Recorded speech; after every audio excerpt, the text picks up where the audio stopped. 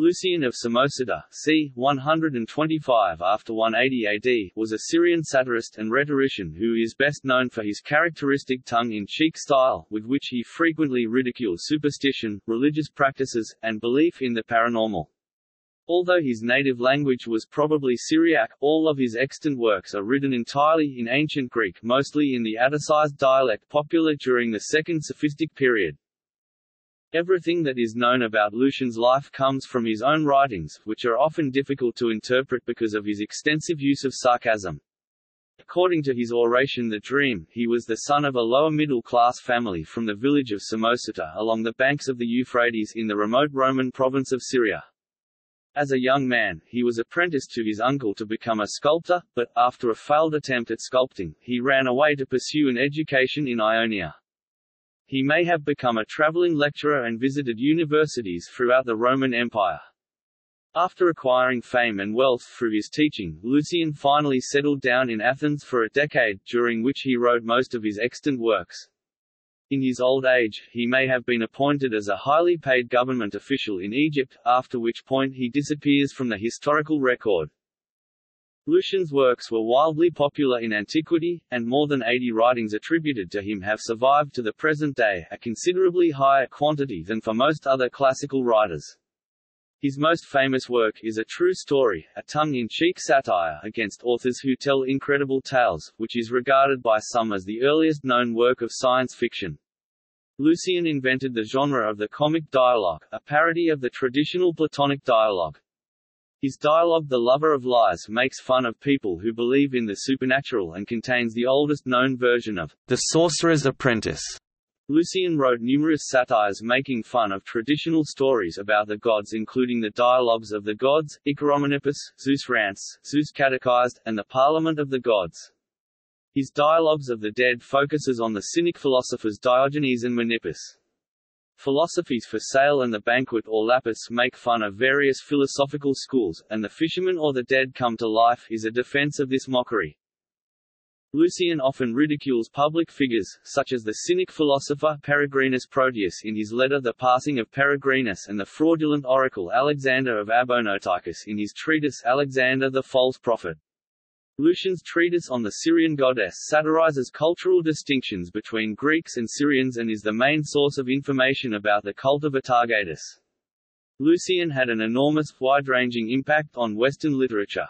Works inspired by his writings include Sir Thomas More's Utopia, the works of François Rabelais, William Shakespeare's Timon of Athens and Jonathan Swift's Gulliver's Travels.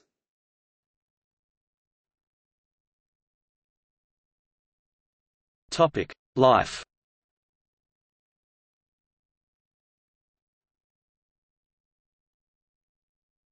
Topic: Biographical sources. Lucian is not mentioned in any contemporary texts or inscriptions written by others and he is not included in Philostratus's Lives of the Sophists. As a result of this, everything that is known about Lucian comes exclusively from his own writings. A variety of characters with names very similar to Lucian including Lucinos, Lucaranos, Lucius, and the Syrian appear throughout Lucian's writings. These have been frequently interpreted by scholars and biographers as masks, alter egos, or mouthpieces of the author. Daniel S. Richter criticizes the frequent tendency to interpret such Lucian-like figures as self-inserts by the author and argues that they are, in fact, merely fictional characters Lucian uses to think with when satirizing conventional distinctions between Greeks and Syrians. He suggests that they are primarily a literary trope used by Lucian to deflect accusations that he as the Syrian author has somehow outraged the purity of Greek idiom or genre through his invention of the comic dialogue.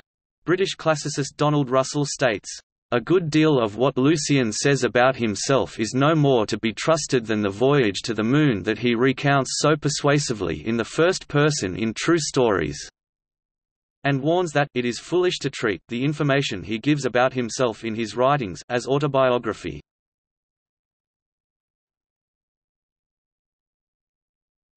Topic: Background and upbringing. Lucian was born in the town of Samosata, located on the banks of the Euphrates River on the far eastern outskirts of the Roman Empire. Samosata had been the capital of Commagene until 72 AD when it was annexed by Vespasian and became part of the Roman province of Syria. The population of the town was mostly Syrian and Lucian's native tongue was probably Syriac, a form of Aramaic. During the time when Lucian lived, traditional Greco-Roman religion was in decline and its role in society had become largely ceremonial. As a substitute for traditional religion, many people in the Hellenistic world joined mystery cults, such as the Mysteries of Isis, Mithraism, the cult of Cybele, and the Eleusinian Mysteries. Superstition had always been common throughout ancient society, but it was especially prevalent during the 2nd century. Most educated people of Lucian's time adhered to one of the various Hellenistic philosophies, of which the major ones were Stoicism, Platonism, Peripateticism, and Epicureanism. Every major town had its own university and these universities often employed professional traveling lecturers, who were frequently paid high sums of money to lecture about various philosophical teachings. The most prestigious center of learning was the city of Athens in Greece, which had a long intellectual history, according to Lucian's oration The Dream, which classical scholar Lionel Casson states he probably delivered as an address upon returning to Samosata at the age of 35 or 40 after establishing his reputation as a great orator. Lucian's parents were lower middle class and his uncles owned a local statue-making shop. Lucian's parents could not afford to give him a higher education, so, after he completed his elementary schooling, Lucian's uncle took him on as an apprentice and began teaching him how to sculpt. Lucian, however, soon proved to be poor at sculpting and ruined the statue he had been working on. His uncle beat him, causing him to run off. Lucian fell asleep and experienced a dream in which he was being fought over by the personifications of statuary and of culture. He decided to listen to culture and thus sought out an education, although the dream has long been treated by scholars as a truthful autobiography of Lucian, its historical accuracy is questionable at best.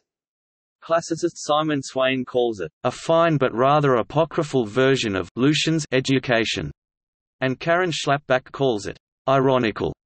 Richter argues that it is not autobiographical at all, but rather a prolalia, or playful literary work, and a complicated meditation on a young man's acquisition of paideia, i.e. education. Russell dismisses the dream as entirely fictional, noting, we recall that Socrates too started as sculptor, and Ovid's vision of elegy and tragedy, Amores 3.1, is all too similar to Lucian's.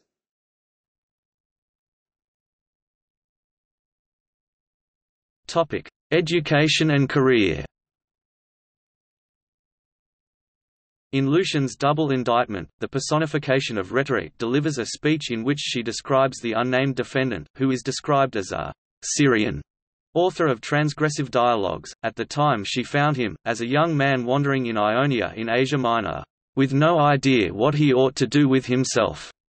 She describes the Syrian at this stage in his career as still speaking in a barbarous manner and all but wearing a kaftan kandys in the Assyrian fashion. Rhetoric states that she took him in hand and gave him paideia. Scholars have long interpreted the Syrian in this work as Lucian himself and taken this speech to mean that Lucian ran away to Ionia, where he pursued his education. Richter, however, argues that the Syrian is not Lucian himself, but rather a literary device Lucian uses to subvert literary and ethnic norms. Ionia was the center of rhetorical learning at the time the most prestigious universities of rhetoric were in Ephesus and Smyrna, but it is unlikely that Lucian could have afforded to pay the tuition at either of these schools. It is not known how Lucian obtained his education, but somehow he managed to acquire an extensive knowledge of rhetoric as well as classical literature and philosophy. Lucian mentions in his dialogue The Fisherman that he had initially attempted to apply his knowledge of rhetoric and become a lawyer, but that he had become disillusioned by the deceitfulness of the trade and resolved to become a philosopher instead. Lucian travelled across the empire, lecturing throughout Greece, Italy, and Gaul. In Gaul, Lucian may have held a position as a highly paid government professor. In around 160, Lucian returned to Ionia as a wealthy celebrity.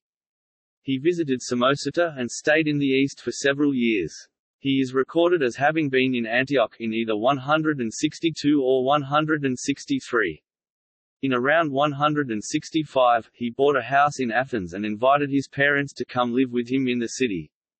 Lucian must have married at some point during his travels, because in one of his writings he mentions having a son at this point. Lucian lived in Athens for around a decade, during which time he gave up lecturing and instead devoted his attention to writing. It was during this decade that Lucian composed nearly all his most famous works. Lucian wrote exclusively in ancient Greek, mainly in the Atticized dialect popular during the Second Sophistic, but on the Syrian goddess, which is attributed to Lucian, is written in a highly successful imitation of Herodotus's Ionic dialect, leading some scholars to believe that Lucian may not be the real author. For unknown reasons, Lucian stopped writing around 175 and began traveling and lecturing again. During the reign of Emperor Commodus 180-192 AD, the aging Lucian may have been appointed to a lucrative government position in Egypt. After this point, he disappears from the historical record entirely, and nothing is known about his death.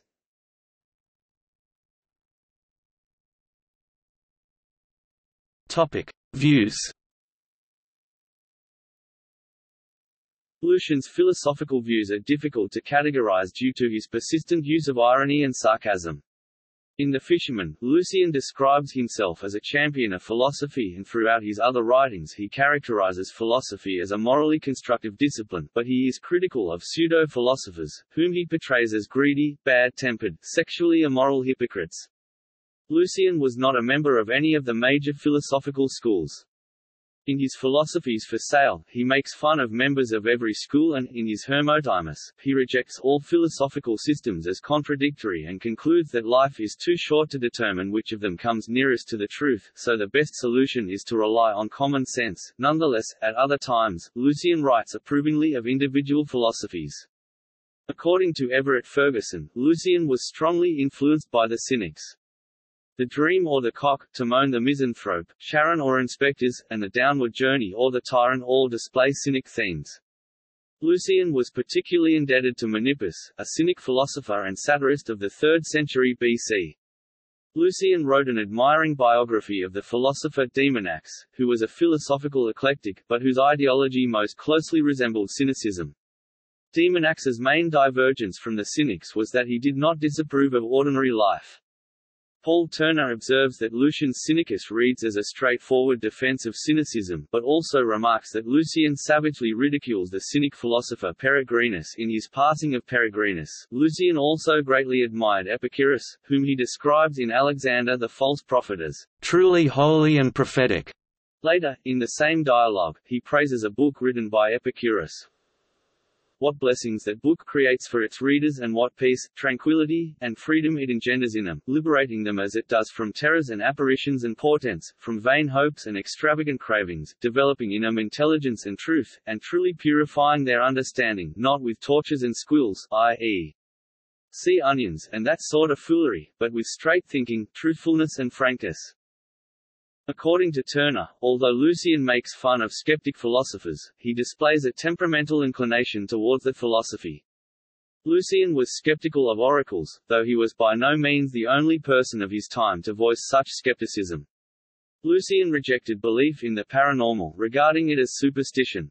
In his dialogue The Lover of Lies, he probably voices some of his own opinions through his character Tychides, perhaps including the declaration by Tychides that he does not believe in demonies, phantoms, or ghosts because he has never seen such things. Tychides, however, still professes belief in the god's existence. Deinomachus, in other words, you do not believe in the existence of the gods, since you maintain that cures cannot be wrought by the use of holy names.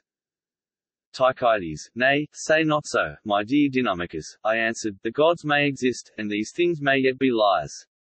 I respect the gods, I see the cures performed by them, I see their beneficence at work in restoring the sick through the medium of the medical faculty and their drugs. Asclepius, and his sons after him, compounded soothing medicines and healed the sick, without the lion's skin and field mouse process. Lucian had a generally negative opinion of Herodotus and his historiography, which he viewed as faulty. The maxim that, eyes are better witnesses than ears, is echoed repeatedly throughout several of Lucian's dialogues. Lucian was critical of Stoicism and Platonism, because he regarded them as encouraging of superstition.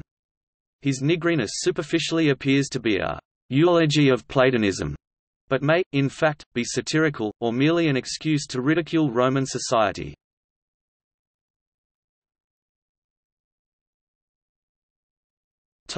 Works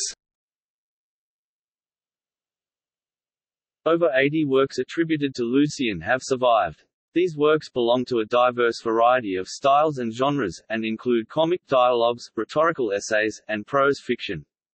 Lucian's writings were targeted towards a highly educated, upper-class Greek audience and make almost constant allusions to Greek cultural history, leading the classical scholar R. Bracht Branham to label Lucian's highly sophisticated style, the comedy of tradition. By the time Lucian's writings were rediscovered during the Renaissance, most of the works of literature referenced in them had been lost or forgotten, making it difficult for readers of later periods to understand his works.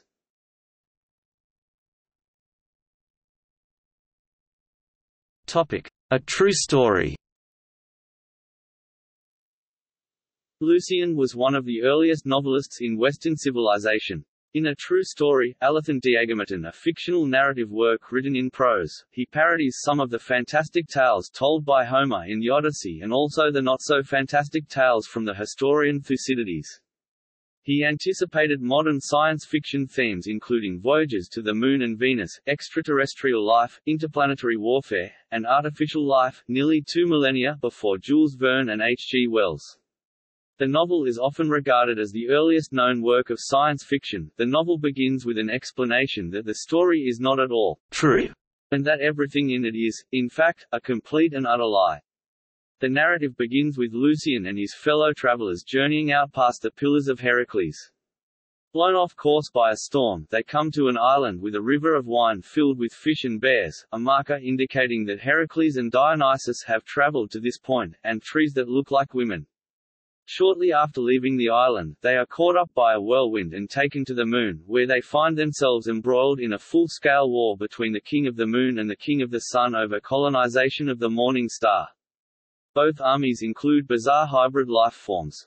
The armies of the Sun win the war by clouding over the Moon and blocking out the Sun's light. Both parties then come to a peace agreement. Lucian then describes life on the Moon and how it is different from life on Earth. After returning to Earth, the adventurers are swallowed by a 200-mile-long whale, in whose belly they discover a variety of fish people, whom they wage war against and triumph over. They kill the whale by starting a bonfire and escape by propping its mouth open. Next, they encounter a sea of milk, an island of cheese, and the island of the Blessed. There, Lucian meets the heroes of the Trojan War, other mythical men and animals, as well as Homer and Pythagoras. They find sinners being punished, the worst of them being the ones who had written books with lies and fantasies, including Herodotus and Ctesias. After leaving the island of the Blessed, they deliver a letter to Calypso given to them by Odysseus explaining that he wishes he had stayed with her so he could have lived eternally.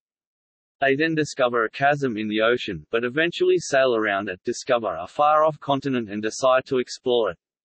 The book ends abruptly with Lucian stating that their future adventures will be described in the upcoming sequels, a promise which a disappointed Scholiast described as the biggest lie of all.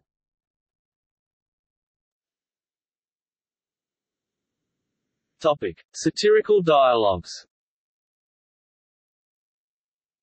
In his double indictment, Lucian declares that his proudest literary achievement is the invention of the satirical dialogue, which was modeled on the earlier Platonic dialogue, but was comedic in tone rather than philosophical. The prolalia to his dialogues of the courtesans suggests that Lucian acted out his dialogues himself as part of a comedic routine. Lucian's Dialogues of the Dead Nekrikoi Dialogoi is a satirical work centering around the Cynic philosophers Diogenes of Sinope and his pupil Menippus, who lived modestly while they were alive and are now living comfortably in the abysmal conditions of the underworld, while those who had lived lives of luxury are in torment when faced by the same conditions. The dialogue draws on earlier literary precursors, including the Nekyia in Book 11 of Homer's Odyssey, but also adds new elements not found in them. Homer's Nekyia describes transgressors against the gods being punished for their sins, but Lucian embellished this idea by having cruel and greedy persons also be punished.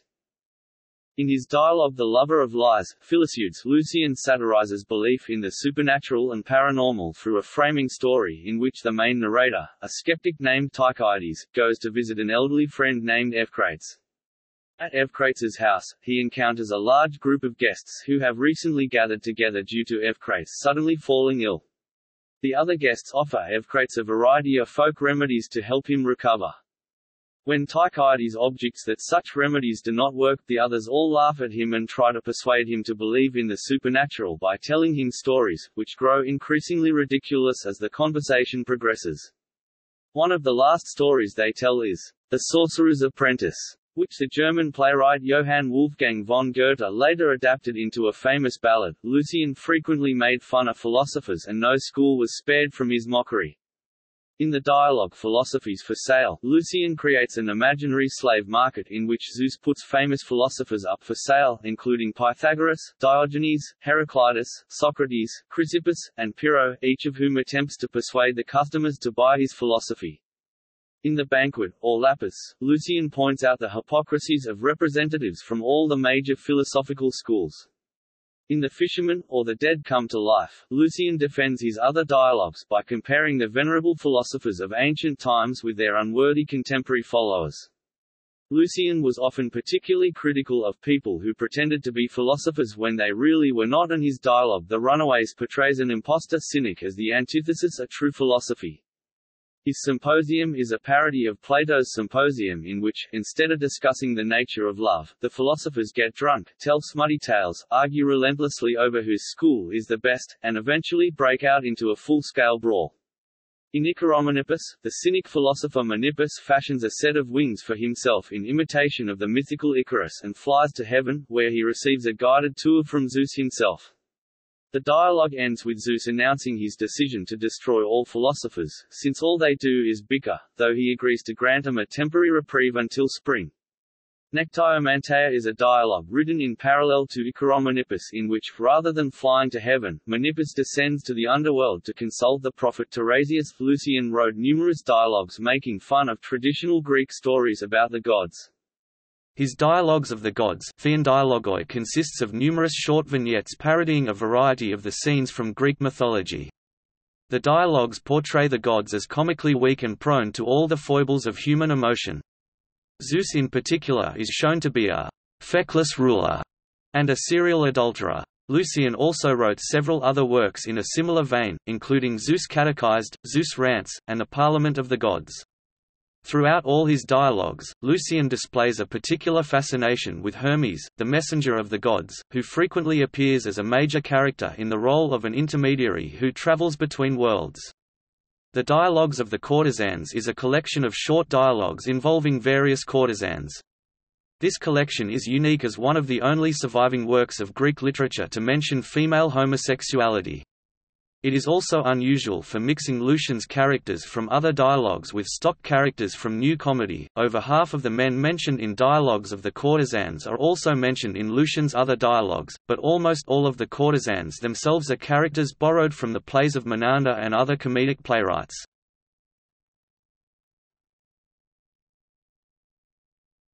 Topic: Treatises and letters. Lucian's treatise Alexander the False Prophet describes the rise of Alexander of Abonoteichus, a charlatan who claimed to be the prophet of the serpent god Glykon. Though the account is satirical in tone, it seems to be a largely accurate report of the Glykon cult and many of Lucian's statements about the cult have been confirmed through archaeological evidence, including coins, statues, and inscriptions. Lucian describes his own meeting with Alexander in which he posed as a friendly philosopher, but, when Alexander invited him to kiss his hand, Lucian bid it instead. Lucian reports that, aside from himself, the only others who dared challenge Alexander's reputation as a true prophet were the Epicureans, whom he lauds as heroes, and the Christians. Lucian's treatise on the Syrian goddess is a detailed description of the cult of the Syrian goddess Atargatis at Hierapolis. It is written in a faux-Ionic dialect and imitates the ethnographic methodology of the Greek historian Herodotus, which Lucian elsewhere derides as faulty. For generations, many scholars doubted the authenticity of On the Syrian Goddess because it seemed too genuinely reverent to have really been written by Lucian. More recently, scholars have come to recognize the book as satirical and have restored its Lucianic authorship. In the treatise, Lucian satirizes the arbitrary cultural distinctions between Greeks and Assyrians by emphasizing the manner in which Syrians have adopted Greek customs and thereby effectively become Greeks themselves. The anonymous narrator of the treatise initially seems to be a Greek sophist, but, as the treatise progresses, he reveals himself to actually be a native Syrian. Scholars dispute whether the treatise is an accurate description of Syrian cultural practices because very little is known about Hierapolis other than what is recorded in on the Syrian goddess itself. Coins minted in the late 4th century BC, municipal decrees from Seleucid rulers, and a late Hellenistic relief carving have confirmed Lucian's statement that the city's original name was Manbog, and that the city was closely associated with the cults of Atargatis and Hadad. A Jewish rabbi later listed the temple at Hierapolis as one of the five most important pagan temples in the Near East. Macrobi, Long Livers, is an essay about famous philosophers who lived for many years. It describes how long each of them lived, and gives an account of each of their deaths. In his treatises Teacher of Rhetoric and on Salaried Posts, Lucian criticizes the teachings of master rhetoricians. His treatise on dancing is a major source of information about Greco-Roman dance. In it, he describes dance as an act of mimesis imitation, and rationalizes the myth of Proteus as being nothing more than an account of a highly skilled Egyptian dancer. He also wrote about visual arts in portraits and on behalf of portraits. Lucian's biography of the philosopher Demonax eulogizes him as a great philosopher and portrays him as a hero of parrhesia, boldness of speech. In his treatise, How to Write History, Lucian criticizes the historical methodology used by writers such as Herodotus and Ctesias, who wrote vivid and self-indulgent descriptions of events they had never actually seen. Instead, Lucian argues that the historian never embellish his stories and should place his commitment to accuracy above his desire to entertain his audience. He also argues the historian should remain absolutely impartial and tell the events as they really happened, even if they are likely to cause disapproval. Lucian names Thucydides as a specific example of a historian who models these virtues. In his satirical letter The Passing of Peregrinus, Perites Peregrinu Teleutes Lucian describes the death of the controversial Cynic philosopher Peregrinus Proteus, who had publicly immolated himself on a pyre at the Olympic Games of 165 AD. The letter is historically significant because it preserves one of the earliest pagan evaluations of Christianity, in the letter, one of Lucian's characters delivers a speech ridiculing Christians for their perceived credulity and ignorance, but he also affords them some level of respect on account of their morality. The speaker in the letter also refers to Jesus, describing him as a crucified sophist who had lived in Palestine just over a century prior and had taught that his followers would attain immortality. In the letter against the ignorant book collector, Lucian ridicules the common practice whereby Near Easterners collect massive libraries of Greek texts for the sake of appearing cultured, but without actually reading any of them.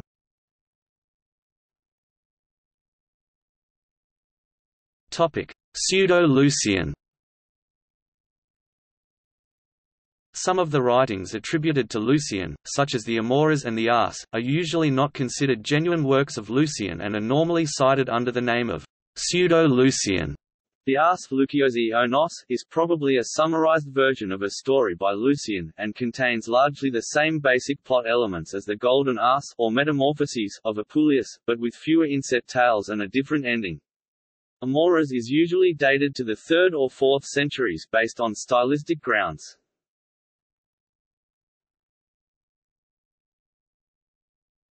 Topic: Legacy.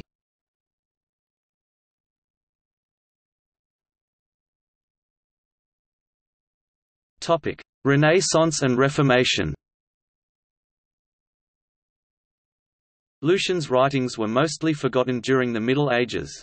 The Suda, a 10th-century Byzantine encyclopedia, concludes that Lucian's soul is burning in hell for his negative remarks about Christians in the passing of Peregrinus.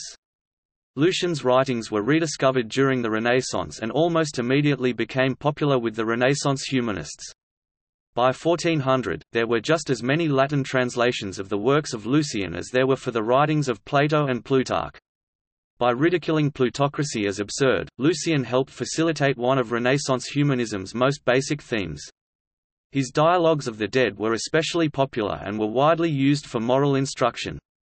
As a result of this popularity, Lucian's writings had a profound influence on writers from the Renaissance and the early modern period. Many early modern European writers adopted Lucian's light-hearted tone, his technique of relating a fantastic voyage through a familiar dialogue, and his trick of constructing proper names with deliberately humorous etymological meanings.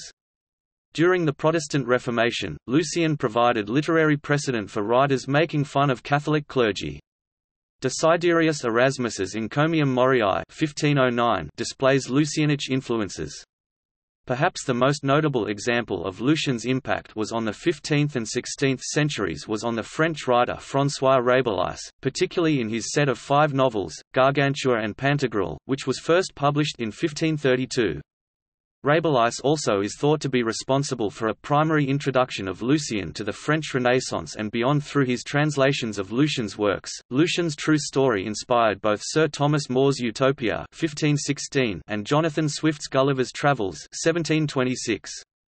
Sandro Botticelli's paintings The Calumny of Apelles and Pallas and The Centaur are both based on descriptions of paintings found in Lucian's works.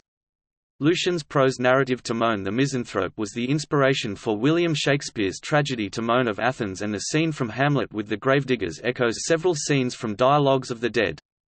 Christopher Marlowe's famous verse, "'Was this the face that launched a thousand ships, and burnt the topless towers of Ilium?' is a paraphrase of a quote from Lucian. Francis Bacon called Lucian a "'contemplative atheist'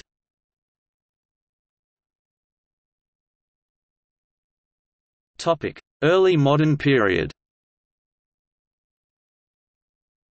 Henry Fielding, the author of The History of Tom Jones, a foundling 1749, owned a complete set of Lucian's writings in nine volumes. He deliberately imitated Lucian in his journey from this world and into the next and, in The Life and Death of Jonathan Wild, the Great 1743, he describes Lucian as, "...almost like the true father of humour." And lists him alongside Cervantes and Jonathan Swift as a true master of satire. In the Covent Garden Journal, Fielding directly states in regard to Lucian that he had modelled his style, "...upon that very author." Nicolas Boileau Despreaux, François Fénelon, Bernard Le Bouvier de Fontenelle, and Voltaire all wrote adaptations of Lucian's Dialogues of the Dead. According to Turner, Voltaire's Candide 1759 displays the characteristically Lucianic theme of refuting philosophical theory by reality. Voltaire also wrote The Conversation between Lucian, Erasmus and Rabelais in the Elysian Fields, a dialogue in which he treats Lucian as one of his masters in the strategy of intellectual revolution.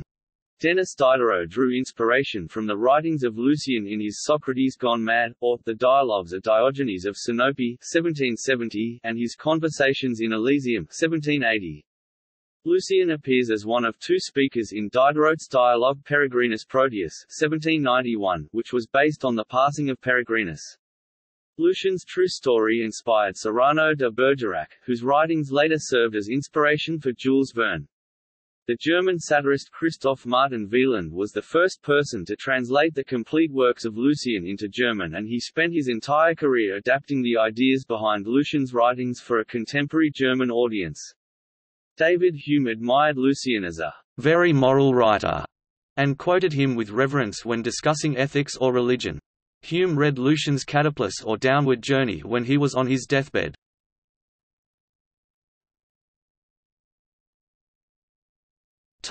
Modern period Kataplous, or Downward Journey also served as the source for Friedrich Nietzsche's concept of the Übermensch or Overman.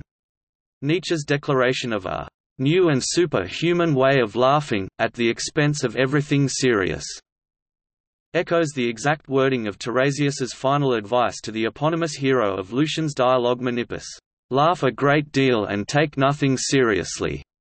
Professional philosophical writers since then have generally ignored Lucian, but Turner comments that, "...perhaps his spirit is still alive in those who, like Bertrand Russell, are prepared to flavor philosophy with wit." In the late 19th and early 20th centuries, many classicists viewed Lucian's works negatively and read them with preconceived ideas in mind about the «Oriental» character. Many of these ideas were influenced by contemporary antisemitism, a reflexive and genteel, form of which was common throughout English and German scholarly writings prior to World War II. The German classicist Eduard Norden admitted that he had, as a foolish youth, wasted time reading the works of Lucian, but, as an adult, had come to realize that Lucian was nothing more than an Oriental without depth or character, who has no soul and degrades the most soulful language. Rudolf Helm, one of the leading scholars on Lucian in the early 20th century, labeled Lucian as a thoughtless Syrian, who possesses none of the soul of a tragedian and compared him to the Jewish German poet Heinrich Heine, who was known as the mockingbird in the German poetry forest. In his 1906 publication Lucian und Menipp, Helm argued that Lucian's claims of generic originality, especially his claim of having invented the comic dialogue, were actually lies intended to cover up his almost complete dependence on Menippus, whom he asserted was the true inventor of the genre. Lucian's Syrian identity received renewed attention in the early 21st century as Lucian became seen as what Richter calls a sort of second sophistic answer to early 21st century questions about cultural and ethnic hybridity. Richter states that postcolonial critics have come to embrace Lucian as an early imperial paradigm of the ethno-cultural hybrid. Topic editions Fowler, H. W. and F. G. Trans, The Works of Lucian of Samosata complete with exceptions specified in the preface Oxford, Clarendon Press, 1905. Four volumes. Neil Hopkinson ed., Lucian, A Selection. Cambridge Greek and Latin Texts Cambridge, New York, Cambridge University Press, 2008. Jane L. Lightfoot, Lucian, On the Syrian Goddess. Oxford, Oxford University Press, 2003. Notes